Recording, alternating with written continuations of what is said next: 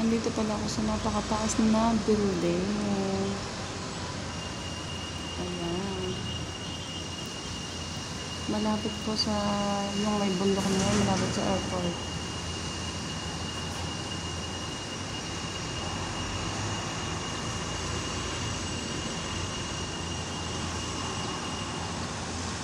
And din naman yung meron about is ang yatong market dyan po sa may kaliwa. So, andun ang cable car. So, ayan. Ang ganda ng tanawin dito sa napakataas na building. So, yun. Bye-bye.